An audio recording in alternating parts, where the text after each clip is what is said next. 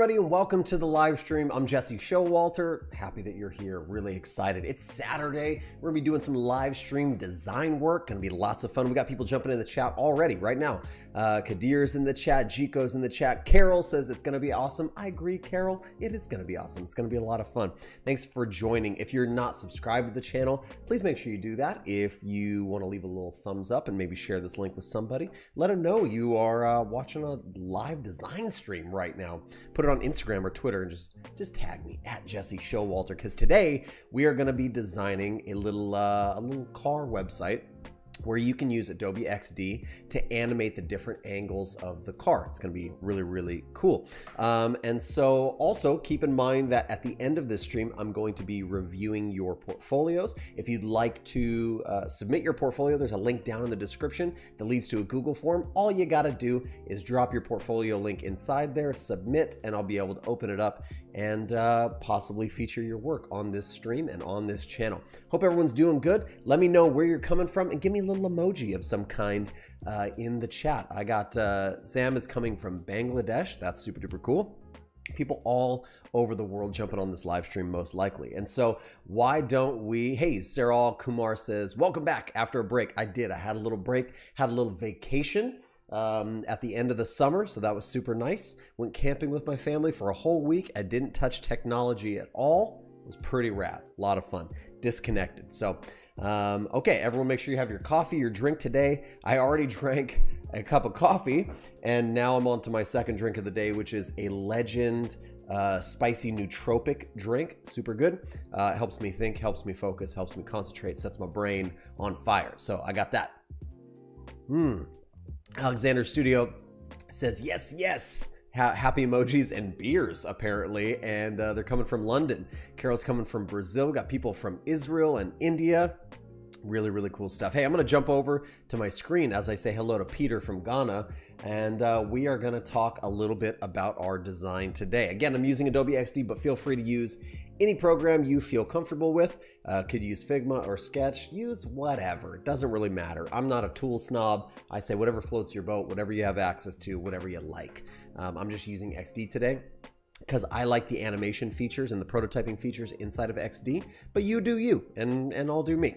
Uh, okay, so here's what I have. I have a 19 by 20, 10 by 8, 1920 by 1080 uh, artboard and uh, that's going to be our basic website size. And I have some text on the page, literally just the name of a Ferrari, a series, and something I think I pulled off of uh, Wikipedia about Ferrari. Uh, just for some filler text. I also have a couple icons over here and some social media icons. And on my desktop, I've already taken a car I downloaded from uh, a stock image website and it had multiple different angles. So I think I have nine angles, okay? And we wanna be able to tap through and see the different angles of the car. You know, in theory, I'd love to be able to slide through um, but I don't think that functionality exists. Maybe somebody can correct me if I'm wrong. I'm gonna have to do a tap through version today, but we're gonna be angling around this car and that's gonna be lots of fun. Saral Kumar says, I've heard new states and updates in Figma are game changing. Will you do a review about that update? Absolutely, because I heard that's a game changer as well. I'm definitely gonna be doing states in Figma soon because it's big. I, Adobe XD has states, component states, and that's why it's such a big win to me. So Figma's doing that now, oh, we gotta get on it. Uh, Grenade codes set or grenade codes. I don't know how I, if I is it Grenade or grenade? I don't know. Says, hey, I'm new. All right, new to the channel, new to design, new to what? New to XD let me know. This is going to be good for beginners and for advanced folks. So first thing I'm going to do if you're new is I have my artboard here and all I had to do is press A uh, for the artboard sizes, I could either draw my own artboard or I can use a pre-made size. I just chose a pre-made size of 1920 by 1080. Um, and that artboard has a white background. You can see right over here has that white background. And then um, it has that information on the screen. What I'm gonna do first is I'm gonna bring in my all my images of my car, okay? So we have all of our images of our car. Let's just stretch our screen out here and zoom out so we can see the car, okay? I'm gonna bring these over a little bit so we can see all the cars. And I have them labeled one through nine. You can see in my layers panel, one through nine. If you're not on your layers panel, all you have to do is go down here and hit layers. The other options you have are to see your plugins or to see your created assets, which we're about to create right now. We're gonna create an asset, but we wanna be on our layers panel. They're all layered one through nine. So that means if I use my alignment tools, like to align them all horizontally and vertically, they all stack on top of each other we should see number one on top, which sure enough we do. And if we made that invisible, we would see number two down below, okay? So here's what we want to do. We want to go ahead and grab all of these and we want to create a component out of all of the cars together. So I'm going to press code Command or Control K, depending on whether you're on a Mac or a PC.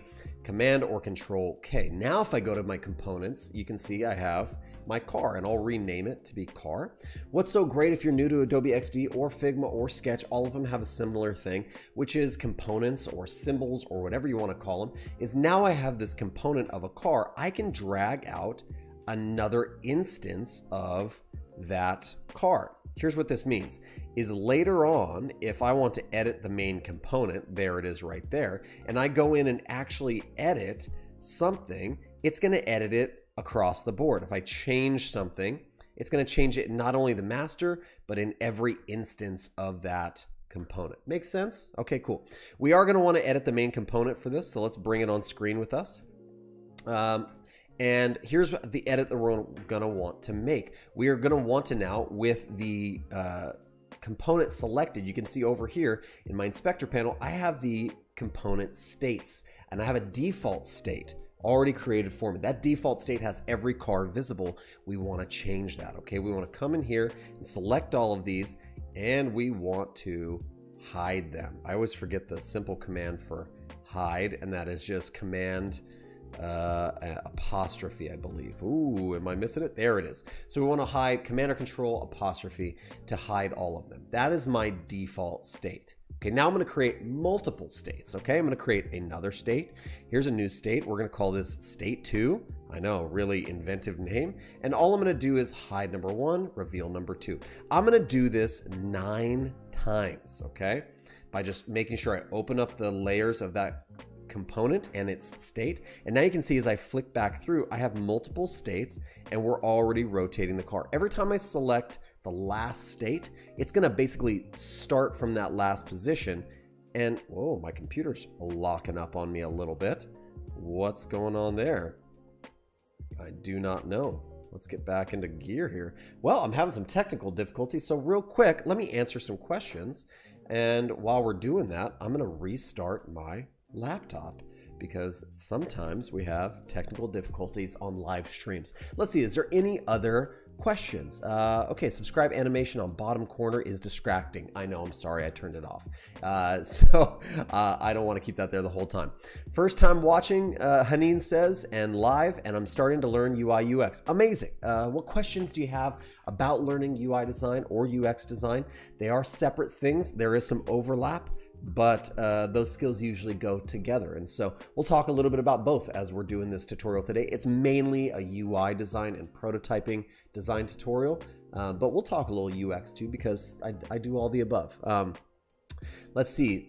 Tisam says, should I use a Wacom tablet? I'm a beginner. Hey, you know what? Wacom tablets are great. Wacom tablets are great for graphic design and uh, sketching and lots of things. You can do lots on a, a, tablet.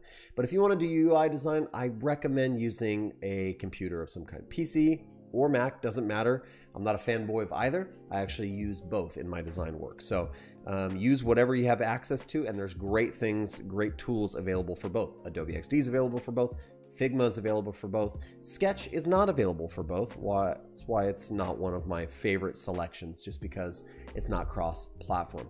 Let's see. Uh, Vinamra says, do you believe in copying and learning designs? I do believe in copying designs to learn designs. I don't believe in copying designs uh, to shortchange the process uh, or to have that be the thing you do.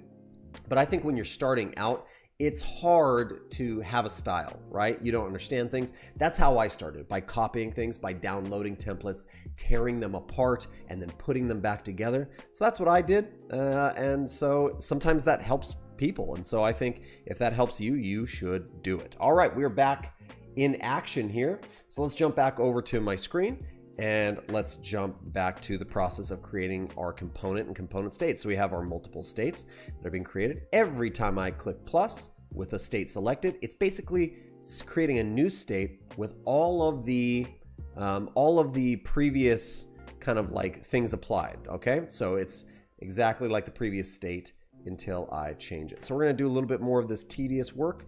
We're just cranking away here. Every time I click on that, I click on my component to open up the uh, to open up the layers to it like that, hiding and showing. And we are almost done. Here we go. Again, just opening up my layers. This feels a little bit tedious, I know, but we are going to get there, I promise. All right. So let's go state number eight, almost done. And one more, let's go state number nine. Let's open that up and see if we can't click it all the way to the left. All right, so now we have our component state, or component that has multiple component states, and we can click back through them, and you can see the change all the way back to our default state. It looks like rotating, doesn't it? Pretty cool. Boom, boom, boom, boom, boom okay? And you can you can change more to each one of these states if you want, but for our use case, this is going to be all we really need to do.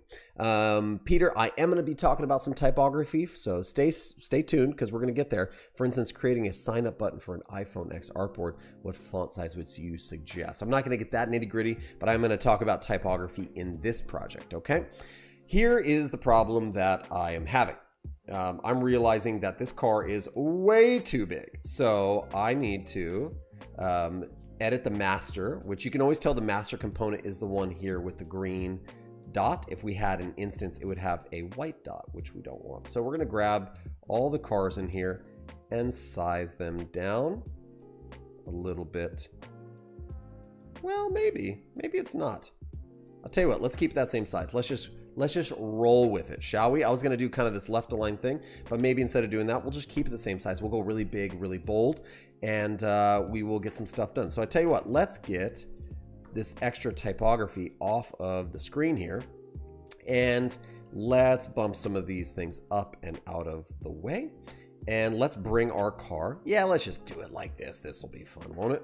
Let's do it like this. And uh, okay, so we have our, our component down there on the screen. I'm gonna drag, I'm just gonna do a little bit of design work really quick and just kind of finagle a few things into place. Okay, so we got our text lock up here and I just want these icons to be kind of center aligned with the text. And we're gonna create kind of a margin on the side. So it's 75 pixels from the edge. Let's drag a smart guide over to the edge. I did that literally just by hovering over the left-hand edge of the artboard like so, and then dragging, excuse me, dragging one, uh, one of these smart guides out. That way I can just align things to there without having to set up a really complex grid system or column layout kind of structure. Mm-hmm. Oh, spicy nootropic ginger drink in the morning is what's up.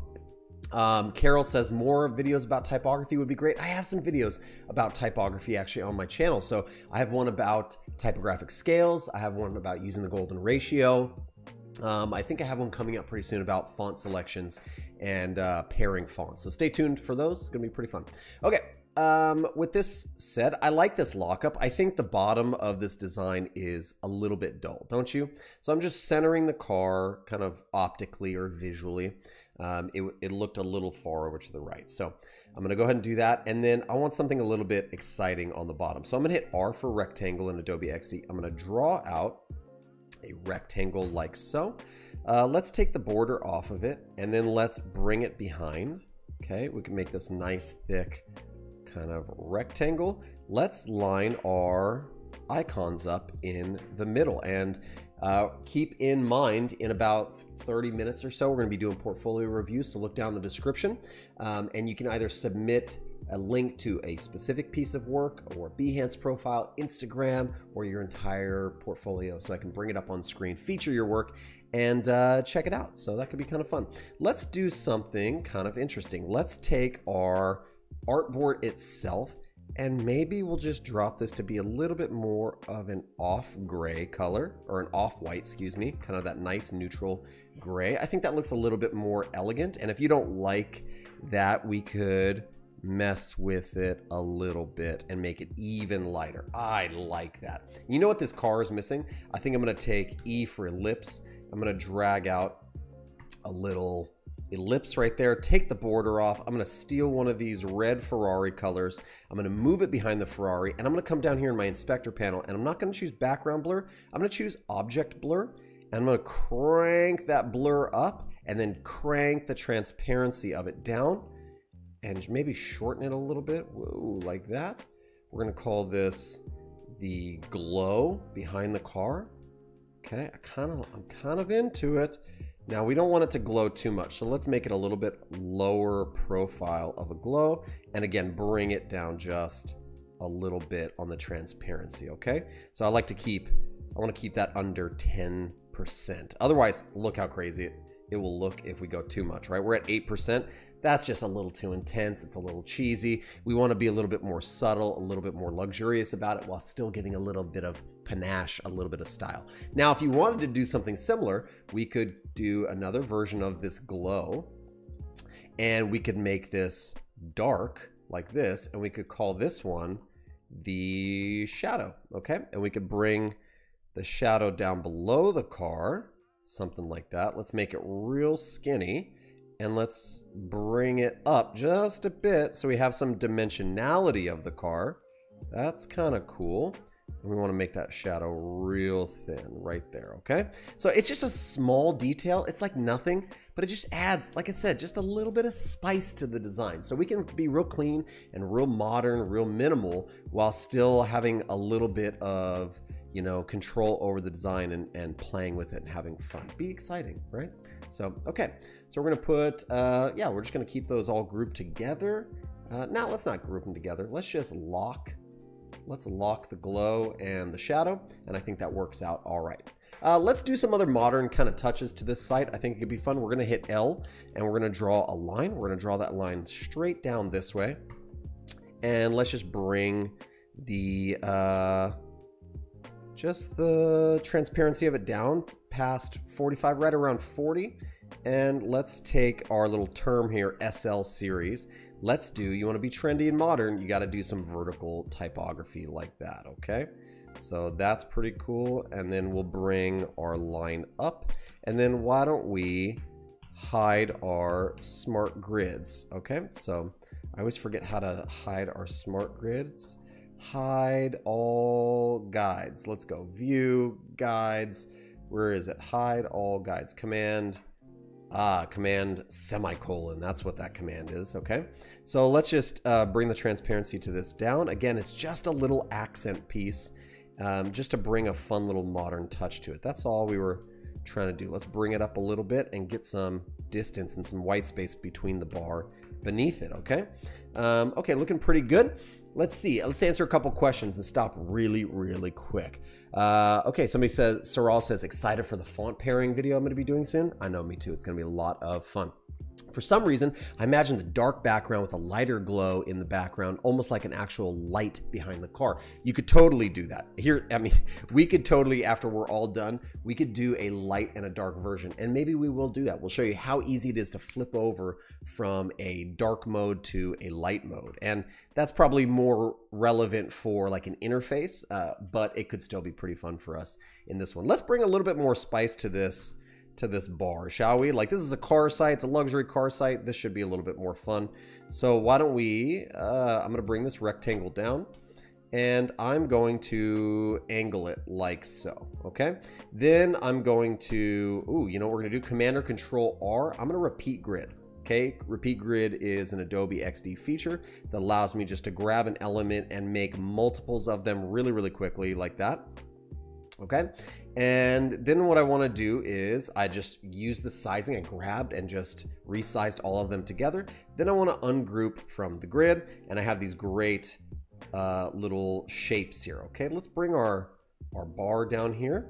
And why don't we, uh, actually I'm to group that together. Why don't we flip this and make it go the other way like racing stripes almost, right? I like it. And we have this shape um, and we want to make sure it's above our white shape. We're going to grab both of them and let's just subtract. Boom. Get some fun little racing stripes just on the left-hand edge of that thing. Kind of cool, kind of fun, okay? Let's come back down here and we're gonna have just a little bit more fun with this bar. Let's put the word Ferrari 550 or F50 in there.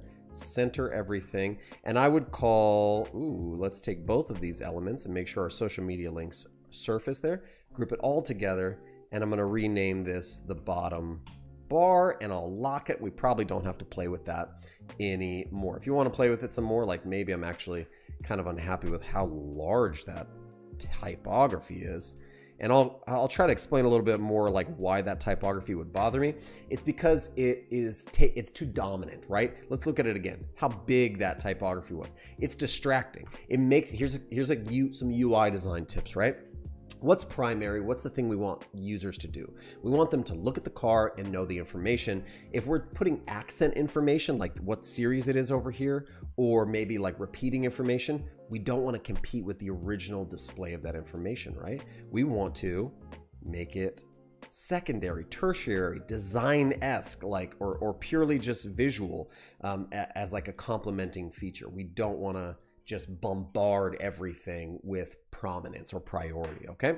So that's the thing we wanna do. Let's move our car up a little bit and let's build the last piece of this, which will be our actual controls.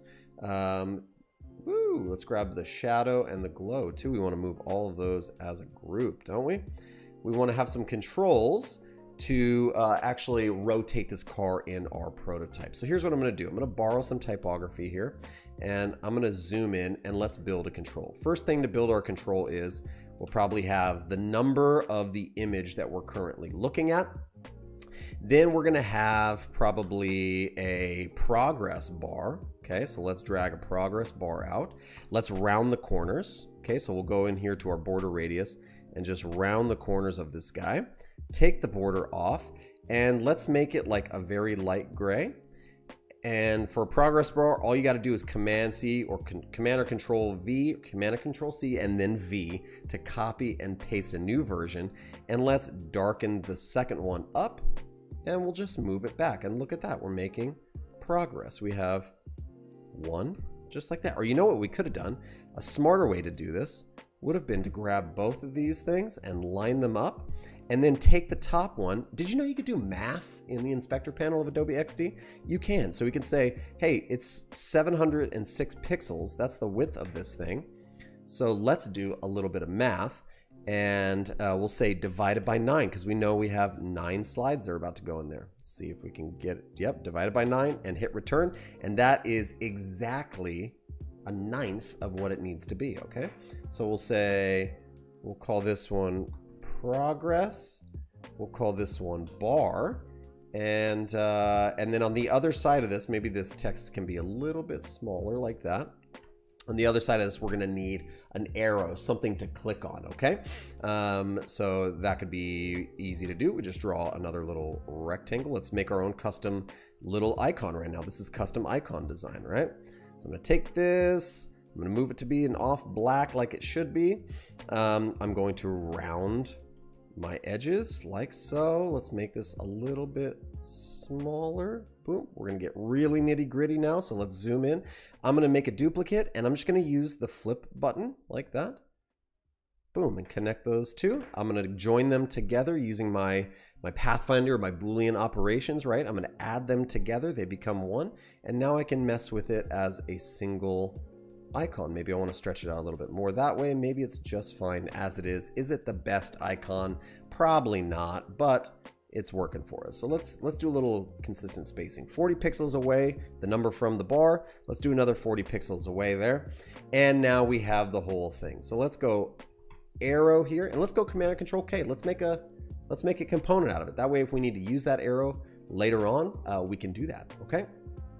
And we have our progress and our bar and we have our counter. Now, every time I hit the arrow, I wanna see the progress bar move and I wanna see the number move like to the next number, okay? How do we do that? Uh, we're gonna simply go 02, 03, 04, 05, 06, 07, 08, and 09. Do we get do we get all of them? Ooh, that's 089. We don't want that. We're gonna start setting ourselves up for our prototype, okay? Um, and here's how we're gonna do it. We're gonna use a little line height and just space these out so they have they have some space there. We're gonna create our own nested component in here, okay? And this is gonna be the first step in our kind of nested component kind of tutorial. So I'm gonna group these together or make a component out of the bar and the actual progress bar itself. Command or Control K, and let's go into our assets. Now you can see we have arrow and we have progress bar, right? Okay. Um, we also, we're gonna do, you saw how we did masking before with our shapes down here. Let's reuse that same idea, okay? And let's take the border off of it I'm gonna grab the text and the uh, and the or we use the Pathfinder tools. Excuse me. Now we're gonna mask. I'm gonna take the shape that I made and the uh, numbers here, and I'm going to mask with shape. Okay. When I do that, we've created a mask. Think of a mask like a hole that you've punched through, and you can only see what's what's actually cut out in the hole. So as things slide behind it, we're seeing everything that's masked. That's what a mask is. So now I can come in and I can move these, and we'll only see what's what's in the punch out basically, right? Okay. I want to create command or control K. I want to create our counter component and I'm gonna want to create all the different states for that. So state the default state is when it's on one. Okay. State two, is it gonna be on two? Just like that. State three. Here comes a little bit of the tedious stuff. So let's try to answer some questions. Do you have your design wireframed on paper for the live streams or do you go with the flow during the stream? I have a basic idea of what I'm gonna do um, in my mind, um, or maybe it's a, a, design that I've made similarly, uh, a similar design that I've made in the past. And so that way I can be freed up to kind of teach and answer questions.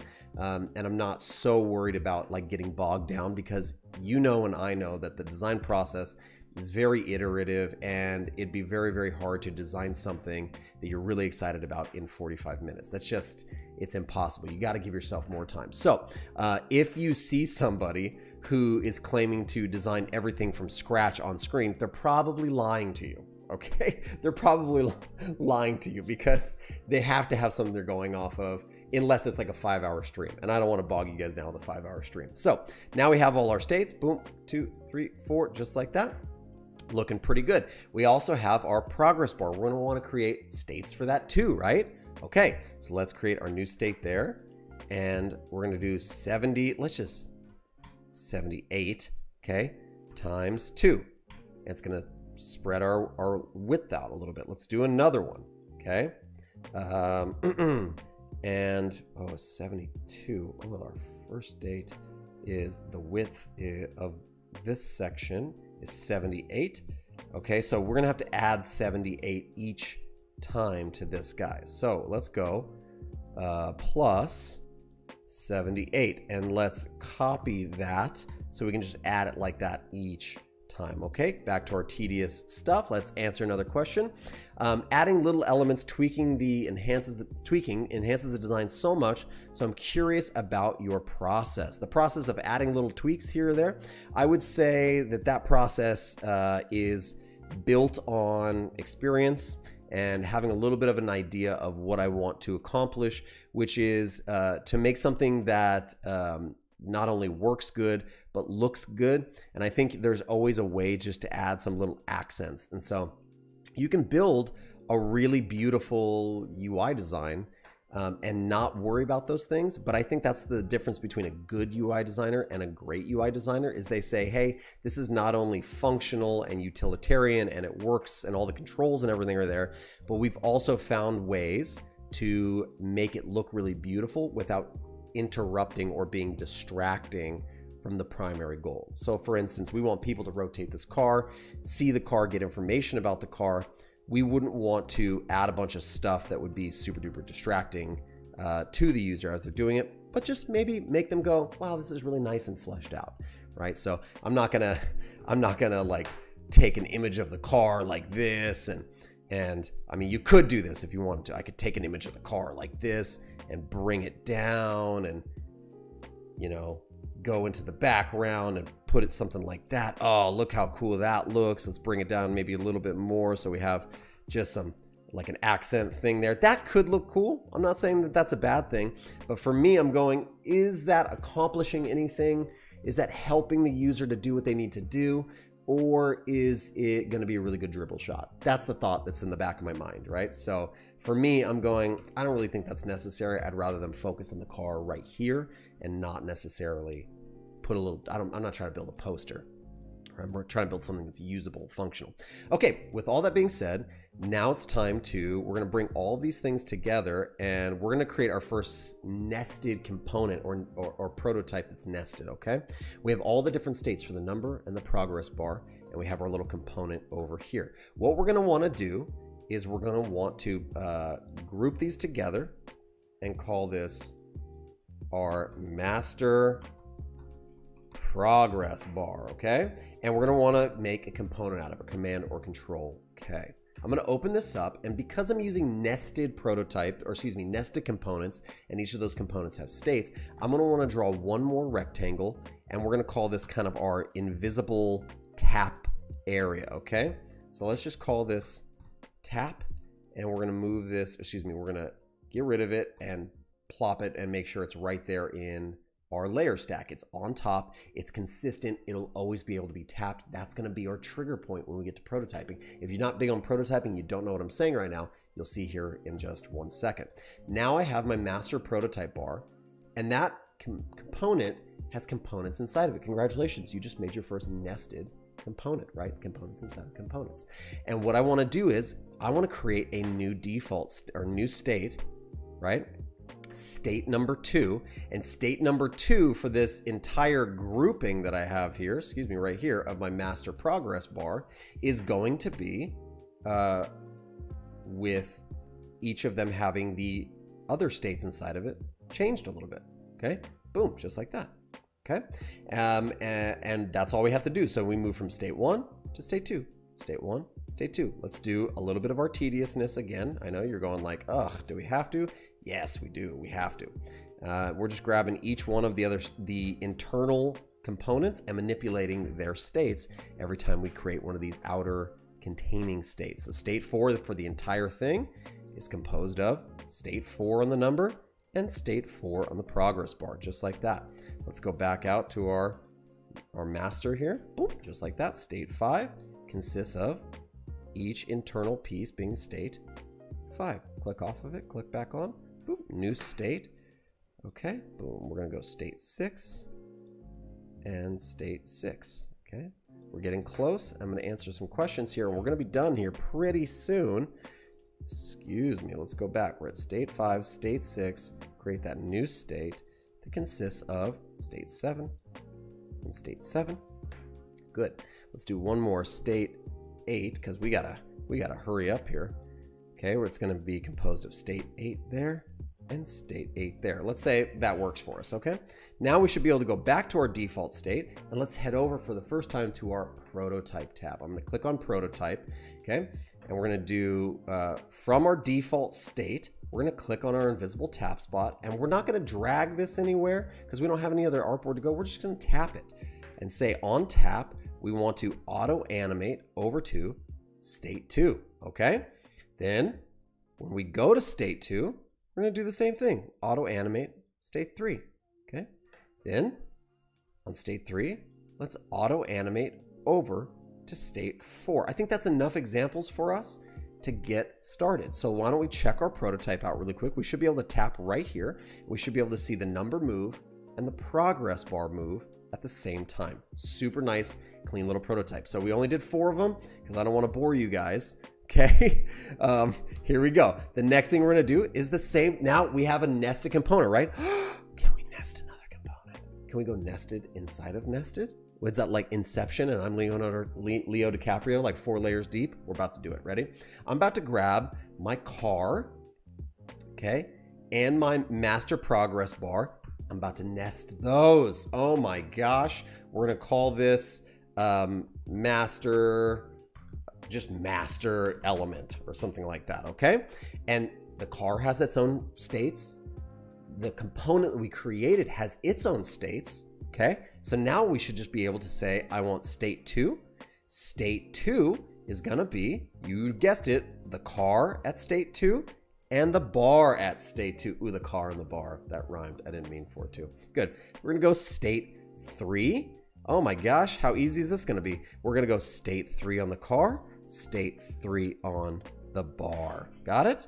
Let's do another one. Let's go back to our car, our master element here. State four will consist of state four on the car, state four on the bar. You guessed it. Okay, that's enough examples to get us going.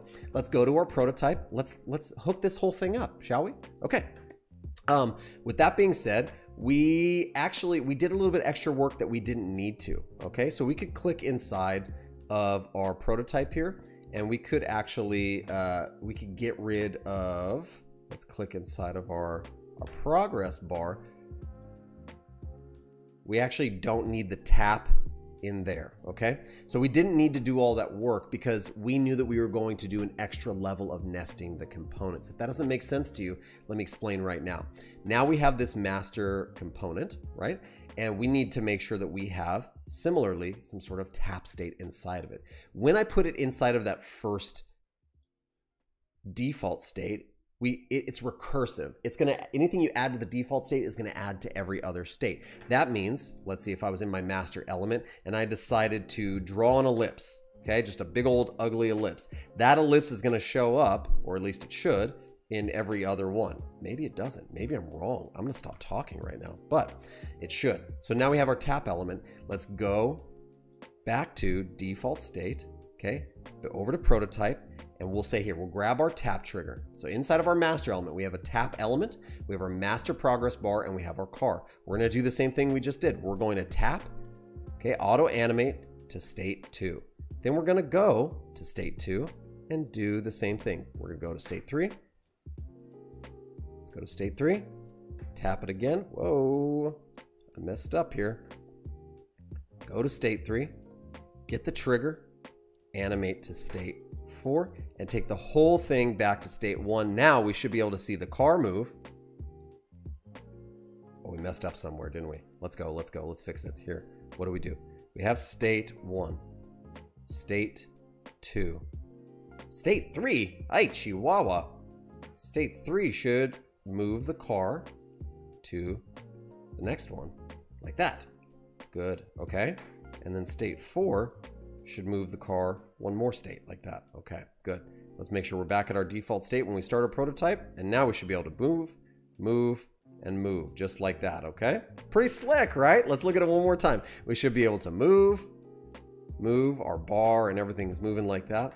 Okay, pretty good. There's a little bit of balance issues and spacing issues that we definitely want to fix. But that is the basics of prototyping this. Somebody asked earlier, hey, wouldn't we want to, I, I like the idea of this maybe being a dark website instead. We could do that. Let's just bring a copy of this thing down. When we copy our artboard, all of those same prototypes and like triggers and everything are there. So let's do car dark style or dark mode. Okay. And let's choose a nice dark color in the background like this, maybe an off black. Let's take our bar and we're gonna unlock it. Let's make our the fill of our bar to be full on like black color like that. And then we're gonna have to bring all of our our icons and everything to be white instead of black. Okay, all of our text in here needs to be moved to white. Uh, all of our icons, again, their borders and their fills need to be white. Uh, let's make this thing white so it stands out a little bit more. And white as well. You know what's really great is I use transparency instead of picking specific colors. And so that made it really, really simple. What I'd want to do with my bar then is I'd want to make a, another version of that bar um, where my text, all of my text inside, or actually this is an instance. So I should be able to just change it like that. And this should also be an instance of my symbol so we can change it just like that. So why don't we do a quick prototype shift, uh, one more prototype, and then we'll get going, okay? So let's click on this and that'll lead us there. We'll just transition like so. And whoa. And let's grab our icon and we'll just prototype our way back, okay? So now we should be able to go to dark mode, back to light mode, should be able to click through. Let's go, let's go over to dark mode. We'll click through on dark mode. We lose a little bit of our controls because we got to fix all of the component states that go with it. So, but that is pretty much the design, folks, and the prototype. Okay. Um, Jesse, can you do a cyberpunk themed website uh, when the game comes out? Maybe. Maybe. Actually, you know what? A while ago, I did an Xbox design video uh, where I, in Adobe XD, I designed and prototype an Xbox site, and I think I used some cyberpunk imagery in there, so maybe check that one out on my channel. Um, I find that I can, BMAG says, I find that I consistently want to make changes to everything at the end of building a product I want to revisit, constantly changing the product. Do you ever run into that dilemma? I think I used to. Now, hold on, let me rephrase that. Uh, design is always iterative, right? So you're going to launch a product into the wild, whether it's a website, an application. You should always be testing and saying, is this doing exactly what we need it to do? Is it accomplishing? Are the users happy with it? Is there a better way that we could do this?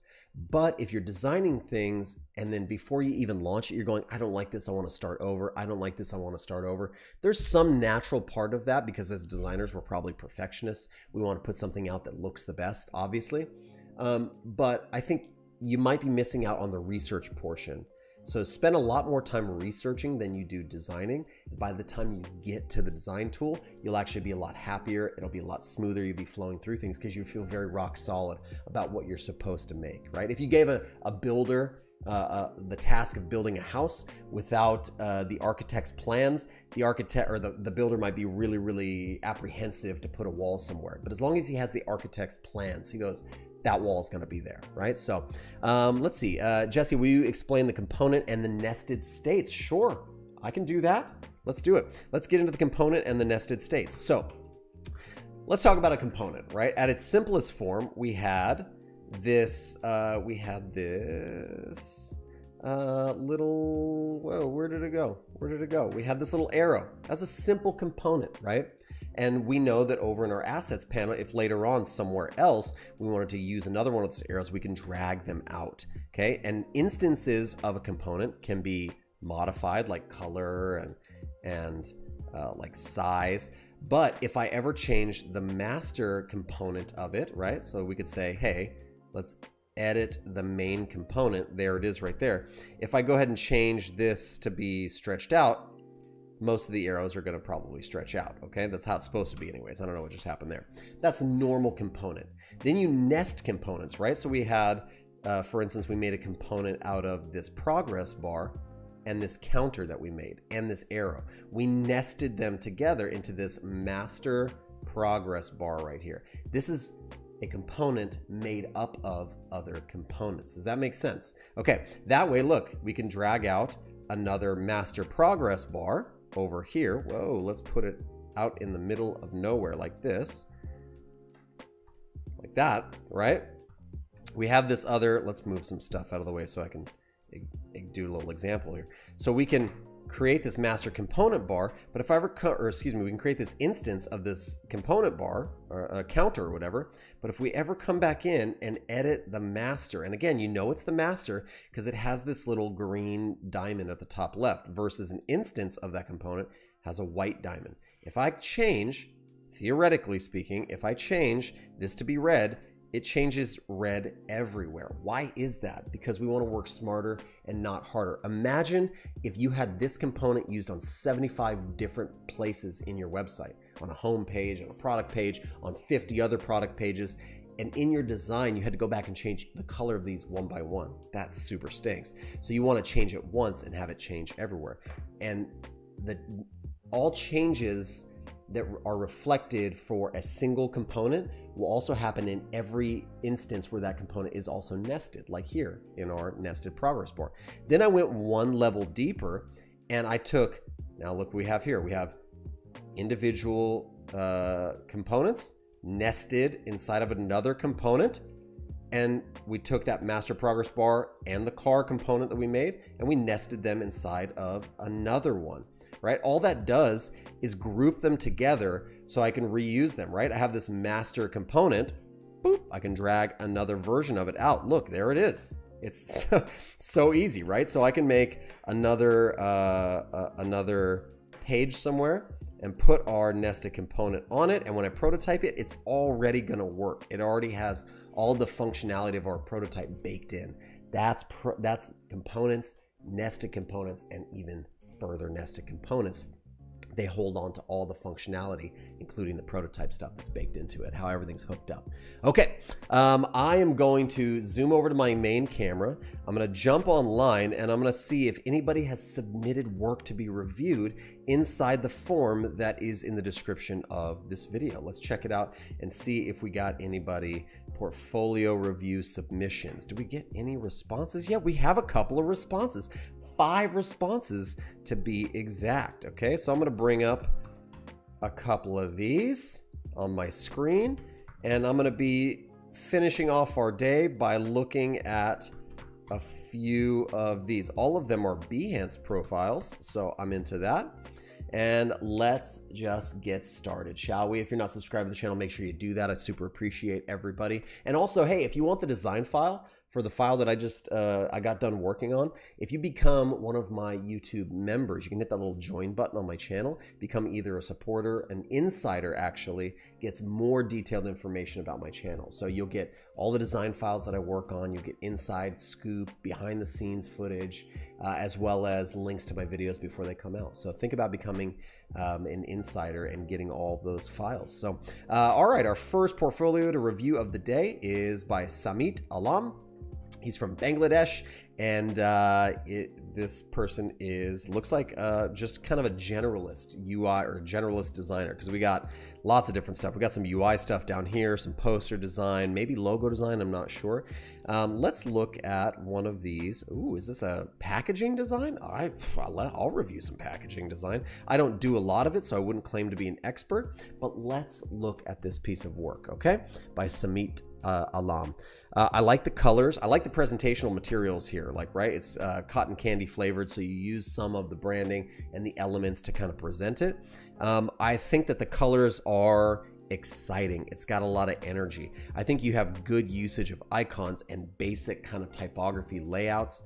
Um, your spacing is really, really nice. I'd like to know if you just bummed this. Um, this branding or if you created the branding also or just re-implemented it. If not, just altogether, it's a really nice implementation of um, this brand and everything that's there. This is probably a little unrealistic, right? The design to swoop up, swoop up onto the plastic cap. Although you could have plastic wrapping that goes all the way to the top and they have to peel to unwrap. So maybe it's not impossible, but um, definitely a cool thing. I like the it seems like there's a lot of colors here. There's some differences in the color using like the cotton candy, like the uh, like the pinks and the blues. But actually, you could kind of break this down to a three color palette, couldn't you? You have variations of pink, blue, and white. And because the, the design or the graphic behind it's kind of busy, it's simplified by the simple use of colors. So I think you did a really, really good job there. I like it. I love it a lot. I want to look at some of your UI work because I'm into that stuff. Let's look at this sign-in page. Looks like it was done in Adobe XD. Um, cool, cool, cool. Uh, okay, so um, I think that this might be some of your earlier work, not sure, but I don't think this carries the same uh, excitement and kind of smoothness as the previous packaging design work that I looked at. Um, some of the problems I see here um, is really bad spacing on the icons and um, just not enough space here in your input fields. Also, your input fields kind of look like input fields, but not really. So when it comes to UI design, you really got to make sure that things that are things, interactable things, buttons, input fields, drop downs, clickable items, they look like the standard. If you're gonna do something really interesting out there, you gotta you, you gotta play with some of the standard default things to help it, okay? Uh, likewise, these buttons, I'm not a big fan of the buttons being the same color as the background. Give me an accent color. Give me something that's punchy, that, that brings people's eyes to the primary function or the thing you want them to do, which is fill in these form fields, which should look like form fields, and tap this button which should look like a button. Also, lastly, I'll say is, um, you know, watch out for your drop shadows. You have drop shadows everywhere. You're kind of using them for no real reason, it seems like, and they're heavy. This is this is something you got to be really careful. When I do drop shadows on buttons, I always stay under 10% transparency on them. They should be subtle, they should be nice. There's a way to do drop shadows and a way not to do drop shadows. And I think you're kind of struggling a little bit with the implementation of them. Um, okay, I think that's good. Uh, Samit Alam, thank you so much for submitting work. Let's head over to Alexander Burgos. Uh, and Alexander is from the United Kingdom. He's a UI UX designer living in London. Let's take a look at this home decoration with furniture. Is this a website? What is it? I'm so excited. Really modern, really clean. I like the usage of the lines. Um, I'm not sure about this control over here uh, being kind of spaced in this circle. I actually could have done without this aesthetic element. I think it it kind of confuses and it I don't know, it's kind of distracting actually because the kind of general old school reading pattern, right, is I, I look at the the branding on the top, which this might just be a quick placeholder branding. I'm not a fan of it though. It's a little bit confusing. I want brand recognition. I want to be able to identify it quickly, but I'm going to Z across the page. I look at all my options and then I look down across this way. So in, in that regard, you are doing something nice here, but the contrast between the typography and the background image is not quite there. I would actually, if I was to redo this site, I would actually keep all the lines and the structure in place. I like that. I think it, it's kind of art deco, kind of modern furniture style. I like it. But I would actually take the image and encapsulate the image and like maybe here you know and have the typography and the and the main call to action kind of overhang over the image and have the background be white. Uh, it's going to clear up a lot of space. It's going to give your design a little bit of breathing room. It's going to make it feel a little bit more modern i think. And and who knows? Maybe down below you're going to do a lot of stuff with white space and counteract that. But based off of what i look at i like the vertical typography. The hamburger menu not my favorite um, I'm not really sure what it is, what it does. It looks a little bit long. It's just that's going to be a personal preference, not a design faux pas. But I'm just not sure about this control and the use of contrast in the image. But I think overall, you're on the you're on the route to a nice, a really, really, really, really nice design and layout. I would just do a little bit more art direction with your image selection and the way that things are laid out. Let's look at the landing page for a gym or personal trainer. Okay. Okay, let's look, look, look, look, look. Uh, this is the landing page. I can't, I can't tell what's the landing page and what is the presentation. Is this all? Okay, this is the this is the landing page. Okay, let me click the little video prototype. I see. Okay. Okay, scrolling down. I like the big bold sections. Those are nice. The images being offset. That's kind of cool. The only thing I would say about this is okay hold on. Oh you're gonna take us somewhere else. Take me take me there. I like it. You clicked on something. You got a nice animation for your for your uh oh look we're doing a little fill in action. Did you do all of that with oh that's nice. I, you probably masked out a second version of the letters. That's a slick little rollover animation. Me like it. I'm into it. This is a little cramped down here this vertical text and the um the social media links not the biggest fan of that um, kind of layout. Uh, I'm wondering, okay, why is the color behind it changing? I'm not sure. That's weird. You might be trying to do like an animation or it might just be like a mistake. That's it's bugging me though. It's really bugging me. So I would definitely work that out. Again, kind of a similar thing. The form kind of looks like a form. It kind of doesn't. You know what I mean? It's right on the border, right on the edge of being a great implementation of a form and not really being a great implementation of a form. Also, we have overlapping images here. Do we? Okay, I see. This is another image and it punches out. I, you know, and I, I see you're doing that. So you're kind of stacking things, right? You have your main image of this super duper jacked guy, and then you have this other image, and it almost feels like this is a white box behind here, but it's not defined really clearly. There's no dimensionality to your overlapping. So I would maybe play with some dimensionality. These are kind of awkward size, kind of like gaps here. This is an awkward size gap. There's not a lot of white space between the edge of uh, your your measure here for your typography and that's a tiny little gap. So I'd want to see a little bit more something a little bit more over here that shows me that's intentional and it has dimensionality. Love the off canvas kind of uh, like headline thing you have going on there really really nice. I like that this style of typography links up to your menu where you have the animated style. Use a little bit more of that I liked it. I see you're using it there as well. Doesn't really pop out as much there. Um, maybe you could do something with that the images are great, again, being staggered in different sizes. Um, but I feel like uh, they're also trying to be a little too symmetrical, right? They're different. You have things that are lapped, but then here you're trying to go back to a symmetrical kind of thing. I would offset them even more or maybe look for some overlap. Again, keep that trend going down the page. So I think it's interesting. I think it was a decent implementation. Let's look at one more really, really quick. No, not this one. Uh, I already look at that and I'm not a fan of it. I don't know why. Sorry. Um, this one is interesting. See, here's like encapsulated photo, nice typography. But again, I mean, it's not that it's a bad implementation, but bring them together into a single lockup somehow. Like, dude, if this if this image was over here, and uh, you know, oh gosh, how, how can I how can I let's let's do let's do something like this, right? Um, if that image was over here, right? Let's fill it with gray just so we have something.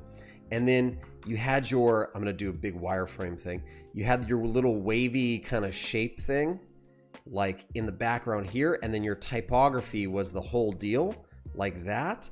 It could be cooler. You could offset this little wavy thing somewhere like that. And then the whole thing feels integrated and pulled together. Right now, it feels like a yard sale. It, it, it could be kind of a cool abstract layout, or maybe it looks like it's a little like it's done a little bit funky. See, look. Oh, see, you were already on what I was talking about. Look at the overlap, the vertical text implementation, the overhang, the dimensionality uh, centerline text with that much text, bad idea. Don't do this, okay? We don't like this much centerline text. Um, if you have to do center centerline text, then you have to, but here you didn't have to. You should have stuck with left align. The reason being, you've created multiple rags now in this typographic measure, right? You have a rag on the left, rag on the right. It's hard for the eye to read. We're not used to this as a culture. We read left, right, or right to left. Very, I don't know any cultures that read center aligned. It's just not a thing, right? Okay, beautiful implementation here. Great contrast with a little imagery behind it. Almost maybe too much imagery. I could have done with just the image and not whatever these words are um, because you have more imagery over here. You could have played off of that.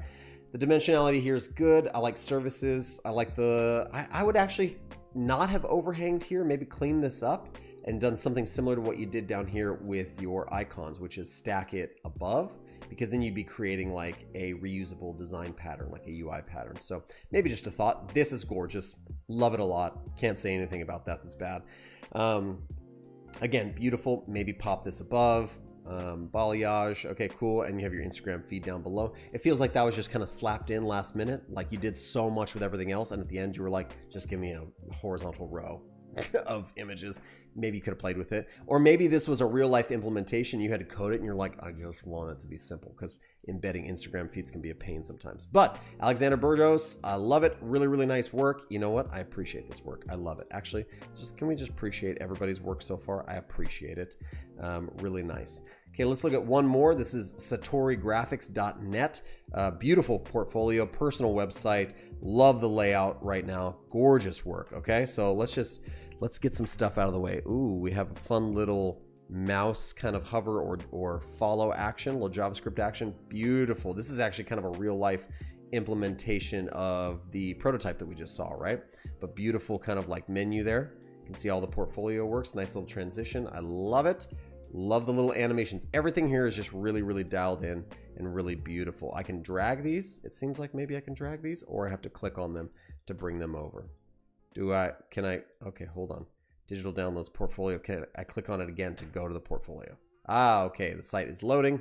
Nice. Everything's so slick. Oh my gosh. Did you code this yourself? If you did, I'm super jealous. I want to be like you when I grow up. It's really, really nice. Um, kindly scroll down, curated collection. That's fun. It's an engaging little thing. I mean, I personally like to get to work a little bit quicker, but I can see it. You're showing creativity as well as presentation. It's really, really nice. The loading animation super slick. Start out with the branding. You can't go wrong. Everything slides down. It's a logo design project. You show beautiful implementations of it. What else do you need? I, I actually, if you're going to show the logo in its simplest form right here, maybe, I don't know, maybe a recommendation. Could be right, could be wrong, but maybe show more of a money shot here, something gorgeous, like show it on a giant billboard or a street sign or some sort of just gorgeous presentation material here. Then you show me the simple version and then you show me like some more stuff down below. But I mean, I can't say anything about this. This is really beautiful. It's all great work. Let's go to a digital downloads page. Okay, why not? Show me digital downloads. What do you got for me? Oh my gosh, all this is so great. We can download some card packages. Great. Make you some side income, Satori. Get this done. The site's just really, really clean. This is everything that a site should be. I wonder what it looks like on mobile. Let's just really quickly. Can we just see it on, uh, can we just see it on, on an iPhone? Golly, give me iPhone X. What does it look like? Uh-huh. Oh, yep, it realigns. Good. Nice. We got the portfolio. What's our menu look like on mobile? Looks really clean. Let's go back to home. Uh-huh. Okay. Looking at the portfolio. Okay. Everything just looks really, really pretty. Center aligned, nice stuff. Great. Yeah, it's great. It's awesome. In every screen size and resolution, you did a really good job. This is a little jumbled, but I mean, what do you do? You keep this, you're keeping this side navigation thing.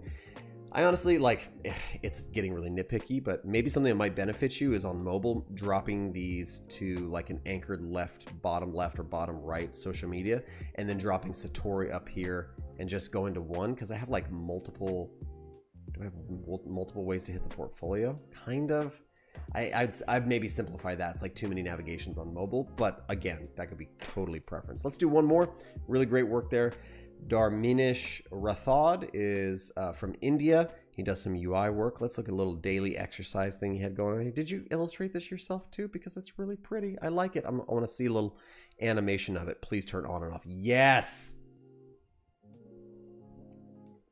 Love that animation. So beautiful. Super fun. Did you do it in XD? Probably. You can totally do that in XD. It's gorgeous. Here's a little daily UI of a watch countdown app, I think. Countdown timer app. Okay, yeah. Uh, I like the interface itself is nice. The presentation of it's a little funky. It's like drop shadowed and not really leveraged into this shot very good. But I think it's it's a pretty. I think you're going for a little bit of that new neumorphism kind of style. Uh, if you're going for neumorphism, I think you got to do a little bit more work. These shadows need to be a little softer. Um, I'm not a big fan of the neomorphism or whatever it's called style. I just think it's a fad. I think it's going to pass. I'd like more simple kind of design patterns or design styles. Um, yeah, this is an okay interface. Um, I think some of the problems you're having here is kind of balance, use of white space, drop shadows are a little bit interesting and funky. Um, and then this is really, really cramped. These spaces are really, really cramped and these toggle switches are really, really small and cramped. So you could spread these sections out and um, I, I, think you'd be better off for it. Also, if this is navigation, then that's kind of troublesome because it looks more like a filter icon, something that'd be generally known as a filter icon. So, but I think in general, um, I think it's a really, really nice implementation. And I just, yeah, I think good work. But I think that's it. I think we're at the end of our time. I might have a moment. We're about an hour into the stream, and I might have a moment to answer a few questions. So Shockwave says, uh, is Illustrator necessary for UI and UX design or just XD? It's nice to have both. Um, it's nice to have uh, be able to use both and you know bring the whole thing together. So that's a thing. Um, you don't have to. You could do some of your icon design in XD. I like doing it in Illustrator better and then bringing everything over. It's there's just a lot of more fine-tuned control in Illustrator right now. So um, Satori has an amazing YouTube channel, especially for people looking to get into logo design. He does actually. That's where I know the name Satori Graphics. He's on YouTube. That's right. Let's collaborate, bro. Let's make a video together. That'd be fun. Um, let's see. Any other questions? Uh, oh yeah, uh, Hanin says components seem like object-oriented programming. Kind of, right? You can you create a component and reuse that component everywhere, or like CSS, right? Like it, things should cascade. I change it one place, it changes everywhere. Absolutely, I'm with you. Um, okay, uh, I didn't see. Oh, Gren grenade code says uh, I'm 14. Am I too young for UX design? No, you're actually you're ahead of the game. You're, you're, you you should stick with it. You should start now um, and be self-taught until you feel like you need more than being self-taught. I'm a self-taught designer. So, um, and I'm 36. You're 14. You're way ahead of me. Keep keep doing what you're doing. You're gonna probably do a really really great job. Are there any good tips for practicing applying design systems in UI design? Yeah, um, a few good tips. Um, don't start making a design system until you feel like you need one. Otherwise, it could be a waste of time. Right? If you're just making a website, you might not need a design system. You might just need a style guide right? That you could implement in something like Webflow. Um, if you are a massive company that has your products are scaling, you might want to take the time to start making a design system. Um, and you want to do it like eating an elephant, one bite at a time. Start with a button, you know, make all the different states and component states and usages for those buttons, document it, um, and then you have a button. And then what does that button get implemented into? Well, maybe it's a, a lot of times you find that button in cards um, or you know table rows or something like that. Okay, then create a card and create some sort of system and uh, structure and guides around that card. And then if you change the button, it'll change not only the button, but the button inside the card. If you change the card, it'll change the card everywhere. So only do what you need when you need it, I think is the wise thing to do. Um, but definitely don't ignore it if you actually do need it, okay? Um, hey, that's it for me. I hope you guys enjoyed the live stream. If you did, consider subscribing to the channel um, and meet me back here next week where I have a very special live stream. I think I'm actually gonna be uh, redesigning a website for the folks over at Legend, and I think there's a giveaway. So if you want to win some cool merch and cases of free legend, then join me next week. I'll be giving those away. It's going to be super duper fun. Um, also, if you want this file or any other design files and extra goodies and assets, consider joining the channel, becoming a member, either a supporter or an insider. Becoming an insider will get you not only uh, my deepest thanks and appreciation, but also also access to design files and uh, you know special behind the scenes stuff. And all of my insiders right now are submitting um, their work um, and uh, different design files of theirs. I'm going to be doing a new episode of Rework where I take actual design files like Adobe XD files, Figma files, Sketch files, and I actually get into that file, rework it on the video so you can get your stuff featured um, on my channel as well. So consider becoming a member. Uh, I'm super thankful for you guys. Thanks for joining me on the stream. Find me here next week for another one. Until then, hope you guys have a great weekend. Enjoy yourselves, rest, design some cool stuff. Um, hope you're designing amazing things, making amazing things, and we'll see you right back here next week. Take care.